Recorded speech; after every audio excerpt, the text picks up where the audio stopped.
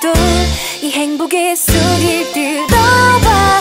사랑이 넘칠 거야. 이제부터 영원까지.